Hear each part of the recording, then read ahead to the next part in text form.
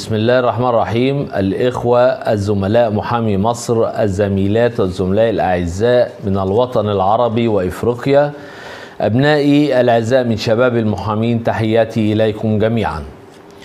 حلقة اليوم ضمن سلسلة حلقات المرافعة في قضايا الجنايات. كما قد بدأناها في حلقة سابقة بعنوان فن إعداد المرافعة. وقد تناولنا في الحلقة السابقة كيفية قراءة القضية واستخراج عناصر الدفاع منها. راجعوا الحلقة جيدا. وسنبدأ اليوم في إعداد المرافعة في قضايا الجنايات ونبدأ تدريجيا حسب أهميتها وقوتها في البحث وإعداد الدفاع للبدء في بناء ملكة جنائية قوية. واليوم إن شاء الله نتناول جناية إحراز سلاح ناري بدون ترخيص. وكما وعدنا سنعرض قضايا حقيقية تمت المرافعة فيها والحصول على الأحكام على هذه المرافعة ولكن بدون رقم القضية أو الأسماء حفاظا على أسرار العملاء التي أقسمنا عليها في مهنة العظماء. أعزائي عندما تحدثنا في الحلقة السابقة عن فن إعداد المرافعة لم نكن نتحدث عن مرافعة ولكن كنا نتحدث عن فن كيفية استخراج المرافعة من القضية. واليوم كما وعدت نبدأ تدريجيا في قضايا حسب أهميتها وحجمها القانوني تدريجيا. لبناء الملكة القانونية في الفكر الجنائي تدريجيا وتصاعديا. ونبدأ اليوم في جناية إحراز سلاح ناري بدون ترخيص. الوقائع. هنبدأ بشرح بسيط لوقائع القضية حتى نتعايش معها عندما نبدأ في إلقاء الدفاع. تبدأ وقائع القضية عندما قرر الرائد فلان الفلاني رئيس المباحث أنه اليوم آه واحد اتنين عشرين عشرين مثلا وأثناء قيامنا بالمرور بدائرة المركز لتفقد حالة الأمن العام وضبط المشتبه فيهم والخارجين عن القانون والهاربين من أحكام قضائية وضبط كل ما يخل بالأمن ورفقتي أح... ورفقتي قوة من الشرطة السرية مستقلين سيارة الوحدة. أنا بقف عند جزئيات في الواقع كده عشان هنقف عندها في الدفاع. سيارة الوحدة وحال مرورنا بناحية بلدة كذا.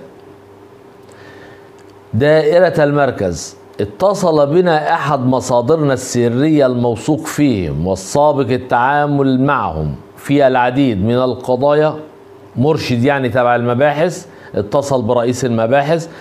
وأبلغوا بتواجد المدعو. المتهم بقى هنا أبلغوا بتواجد المدعو فلان الفلاني. المتهم الآن على طريق جسر نهر النيل بناحية قرية كذا. في قرية تانية غير اللي بتمر بها القوة. يعني هو موجود في قرية والقوة موجودة في قرية. بأحد العشش وبحوزته سلاح ناري بين قوسين بندقية خرطوش.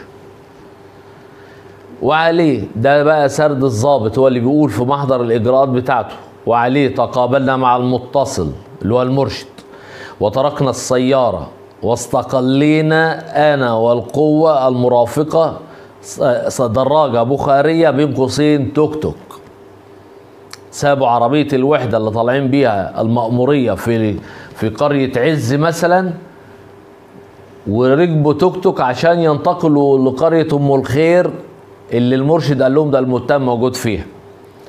وتوجهت حيث أبلغني المصدر وقمنا بضبط المتهم وتلاحظ لي قيامه بحمل سلاح ناري بندقية على كتفه.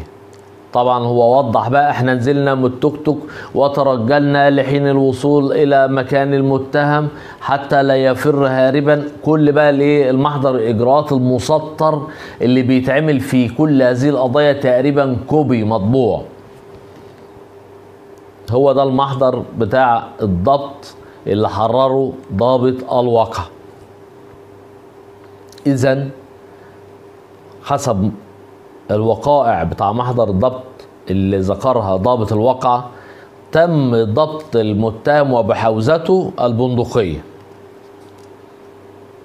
ودي الوقائع اللي سردها ضابط الواقع واللي وردت أيضا في أمر الإحالة بإحالة المتهم للمحاكمة. لو إحنا زي ما قلنا في الحلقة السابقة في فن إعداد المرافعة فن قراءة وقائع الدعوة لاستخراج عناصر الدفاع منها. هتطرق بقى لأمر الإحالة اللي اتبنى على محضر الإجراءات. لأن في أمر إحالة زي ما قلت في الحلقة اللي أنا بذكرها بتاع فن إعداد المرافعة في أمر إحالة وبيناظره أدلة ثبوت. أمر الإحالة النيابة العامة. نيابة شرق القاهرة مثلا أو نيابة شرق طنطا أو نيابة حسب المحامي العام اللي موجود في المنطقة. في القضية رقم كذا لسنة كذا جنيات مركز وليكن مثلا إيه منوف. المقيدة برقم كذا لسنة كذا كل شرق القاهرة مثلا أو كل شرق طنطا. نحن المستشار فلان الفلاني المحامي العام محامي العام المختص. بعد الاطلاع على الأوراق وما تم فيها من تحقيقات نتهم السيد فلان الفلاني السيد عباس محمود مثلا ده اسم على فكرة وهمي مش حقيقي. نتهم السيد مواطن اسمه السيد مش لقب مواطن اسمه السيد عباس محمود. محبوس بين قوسين محبوس متهم محبوس. ساعة ما اتقبض عليه معروض على النيابة وبيجدد له ومستمر في الحبس الاحتياطي وهو يقدم للمحاكمة محبوس. لأنه في يوم واحد اتنين عشرين عشرين اللي هو تاريخ الواقع. طبعا تواريخ الأسامي دي افتراضية مش حقيقية. بدائرة مركز منوف منوفية. محافظة المنوفية. أحرز بغير ترخيص سلاح ناري غير مشخشن على النحو المبين بالأوراق. بناء عليه يكون المتهم قد ارتكب جناية بالمواد واحد فقرة واحد 26 فقرة واحد و30 فقرة واحد من القانون 394 سنة 1954 المعدل بالقانونين رقم 26 لسنة 1978 و 165 سنة 1981 والمرسوم بقانون رقم 6 لسنة 2012 والجدول 2 الملحق بالقانون الأول. لذلك وبعد الاطلاع على المادة 214 إجراءات جنائية نأمر أولا بحالة المتهم السيد عباس محمود إلى محكمة جنايات شرق القاهرة مثلا أو طنطا زي ما قلنا قبل كده لمعاقبة المتهم طبقا للمواد الاتهام الواردة بأمر الإحالة وقائمة أدلة الثبوت مع استمرار حبس المتهم على ذمة المحاكمة. ثانيا ندب المحامي صاحب الدور للدفاع عن المتهم. ده الكلام ده في حالة أن يكون المتهم ليس له محامي. ثالثا إرفاق صحيفة الحالة الجنائية المتهم رابعا إعلان المتهم بأمر الإحالة. ومرفق قائمة بالشهود وأدلة الثبوت ده قرار الإحالة لمحكمة الجنايات اللي تم بناؤه وتسطيره بناء على محضر الإجراءات الذي تمت فيه وقائع الجناية. طيب من خلال فنيات القراءة اللي إحنا دايما اللي إحنا كنا بنقولها إيه؟ من قراءة الواقع كاملا بفن القراءة اللي إحنا ذكرناه نجد أن واحد لا يوجد تحريات عن الواقعة فهي ضبط بواقعة اعتبرها ضابط المباحث تلبس وهي كما سيتضح لا هذا ولا ذاك.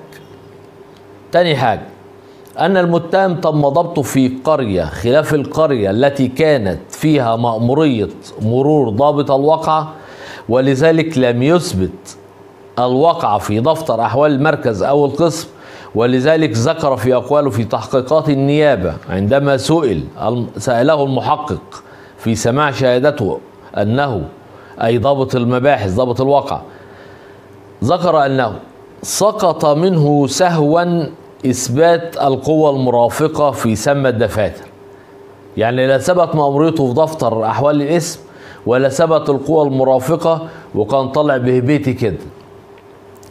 ثلاثة أن ضابط الواقع ذكر تتابع زمني في أقواله بين انتقاله من الاسم أو المركز ومروره في طريقه إلى القرية التي اتجه إليها لضبط حالة الأمن فيها وانتقاله من القرية بتغيير اتجاهه إلى القرية الأخرى التي يوجد بها المتهم المراد ضبطه حسب اتصال المرشد فترات زمنية كما ذكرها ضابط الواقعة متتابعة ومتقاربة تكاد تكون في خلال عشر دقائق وترك سيارة المكافحة اللي هو نزل بيها أو سيارة الشغل اللي نزل بيها اللي نزل بيها المأمورية ونزل غير اتجاهه وركب توك توك وخد القوة معاه في توك توك عشان يضبط المتهم.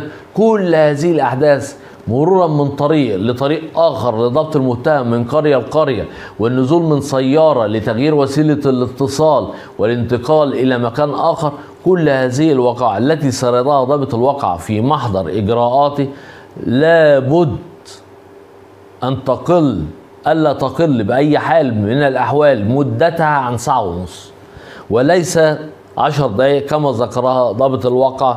وعشان كده بنقول التتابع الزمني تتابع لو تتبعناه في محضر الإجراءات نجده لا يتوافق مع حقيقة الواقع بالمرة.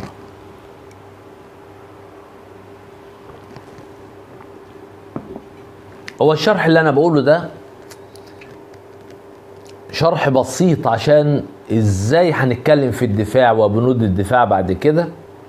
عشان بنتعلم في البداية فنيات استخراج الدفوع والدفاع وبعدين هنقول الدفاع مرة واحدة. ده الكلام ده لو انت رجعتوا حلقة فن اعداد المرافعة هتتأكدوا من اللي أنا بقوله ده كلمة كلمة. نخش بقى في الدفاع. إحنا عايزين نترافع بقى في القضية. قريناها قرينا الواقع قرينا الموضوع. هنتكلم في الدفاع. أنا بترافع في في القضية.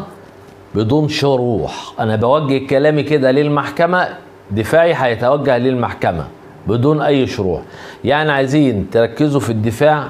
أنا شرحت الوقائع وشرحت إزاي هتستخرج البنود الدفاع فيها. أنا برضو هقول دفاعي بدون أي شروط الدفاع. سيد الرئيس حضرات السادة المستشارين نحضر مع المتهم ونطلب وبحق إصدار حكمكم الحق ببراءة المتهم مما أسند إليه وذلك تأسيسا على دفوعنا الآتية أولا ندفع ببطلان كافة إجراءات الضبط التي قام بها وذكرها ضابط الوقع ثانيا ندفع بعدم معقولية الوقع كما رواها ضابط الوقع وذلك لاستحالة التتابع الزمني الذي ذكره في ترتيب الإجراءات في أقواله وذلك حيث افتتح محضر الإجراءات الساعة أربعة وربع مساء وفي أقوال بتحقيقات النيابة ذكرها 43 دقيقة مساء والعودة الساعة 4 وعشرة مساء أي أن الوقع في طريق قريتين وتعديل وسيلة الانتقال من السيارة إلى التوك توك لا يمكن أن يكون ذلك في دقائق. بينما الواقع إذا كانت حقيقة لا يقل طريقه عن ساعة ونصف الساعة. ثالثا ندفع باستحالة حدوث الواقعة كما رواها ضابط الواقعة لكون مروره بقرية وضبط المتهم كما ذكرنا بأقواله في قرية أخرى على خط سير آخر يستحيل حدوثه تتبعا وفق ما ذكر. رابعا ندفع بانفراد ضابط الواقع بالشهادة وحجبه باقي أفراد القوة عن الشهادة. خامسا ندفع بعدم إثبات المأمورية في دفتر أحوال المركز أو القسم الأمر الذي من شأنه أن يشكك في صحة الواقع أو الانتقال فعلا. ونوضح سيد الرئيس دفوعنا التي ألقيناها على عدلكم كالآتي. انطوت شهادة ضابط الواقع بمفرده بمفرده والدليل الفني بالأوراق الذي حدد نوع السلاح المضبوط حيث أنه في الدفع الأول بطلان كافة الإجراءات التي ذكرها ضابط الواقع عن ضبط المتهم وحسب ما جاء بأقوال المتهم نفسه. أنه تم اصطحابه من منزله بناحية قرية كذا.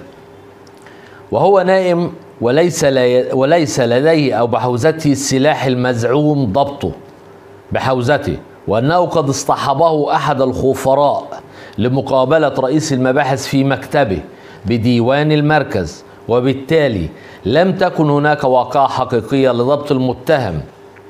لا بناء على تحريات مسبقة ولا بناء على واقعة تلبس مما يحمل الاتهام المسند المتهم إلى واجهة الكيدية والتلفيق الذي لا أساس له من الصحة أو السند القانوني مما يشكك في صحة إسناد الاتهام للمتهم وإذا ما كان ذلك يكون تفسير الشك لمصلحة المتهم إذا ما استقر يقين الهيئة الموقرة إلى ذلك. أما بشأن الدفع الثاني وهو عدم معقولية الواقع وذلك حيث أنه وفقا لما ذكر لما ذكر في الدفع من التتابع الزمني فإن ما ذكره ضابط الواقع يعد ضر يعد ضربا من ضروب الخيال التحرك في عشر دقائق بين قريتين على طريق مختلف وإجراء حوارات مع الغير سواء تليفونية مع المرشد أو القوة المرافقة والانتقال من السيارة إلى التوك توك فذلك لابد له من زمن لا يقل بأي حال من الأحوال عن ساعة ونصف الساعة مما يطيح بالواقعة إلى عدم المعقولية التامة ومن ثم يكون ذلك أيضا موضع تشكيك في صحة حدوث الواقعة والذي يفسر أيضا لمصلحة المتهم ليؤكد طلب القضاء ببراءته مما أسند إليه. أما بخصوص الدفع الثالث سيد الرئيس وهو استحالة حدوث الواقعة كما رواها ضابط الواقعة لاستحالة وجود المتهم في القريتين في وقت واحد حال ضبطه. بانتقال الضابط من قرية إلى أخرى إليه حسب ما ذكر في أقواله بتحقيقات النيابة.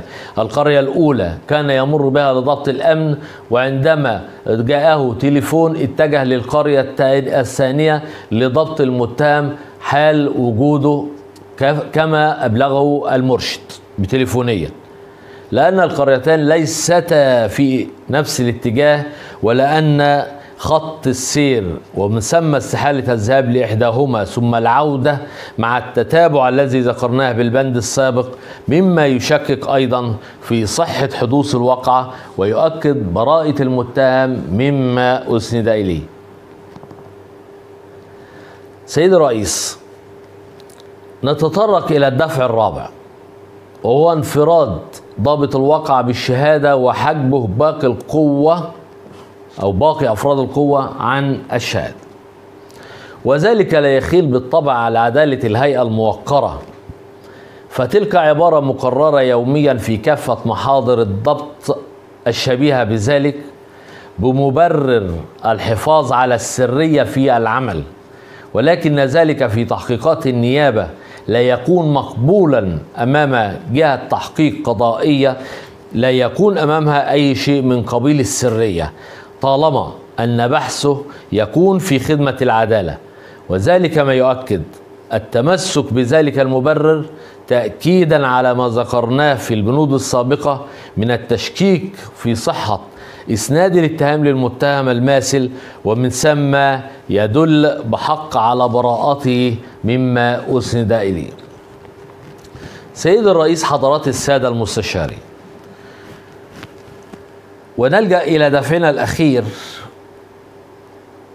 وبمنتهى البساطة وهو يعد من قبيل الدفوع الكوميدية في الرد على محضر الإجراءات أو محضر ضابط الواقع. ألا وهو عدم إثبات المأمورية في دفتر أحوال المركز أو القسم. ذلك الأمر الذي لا يرقى إلى الحديث القانوني. حيث انه لم يتم إثبات الانتقال في دفتر أحوال القسم أي أن المأمورية غير موثقة. إذا لو حدث أي مكروه لا قدر الله للقوة أو لضابط الواقعة دون أن يكون انتقالهم من ديوان المركز مدون بدفتر الأحوال.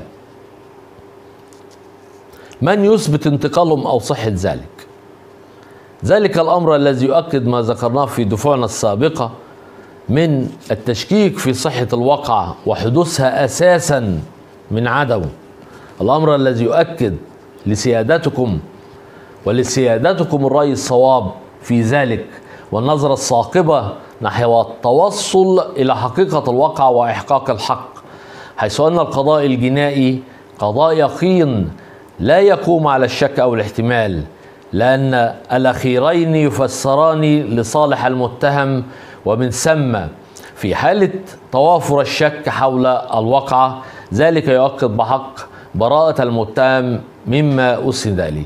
ولنا في ذلك قول رسول الله صلى الله عليه وسلم عبر عبره في حديث شريف عن عبد الله بن عمرو بن العاص رضي الله عنهما قال قال رسول الله صلى الله عليه وسلم إن المقسطين عند الله على منابر من نور الذين يعدلون في حكمهم وأهليهم وما ولوا صدق رسول الله صلى الله عليه وسلم. ولذلك ولما تراه هيئة المحكمة الموقرة من أسباب أفضل وبناء عليه نصمم وبحق على القضاء ببراءة المتهم مما أسند إليه. وشكرا.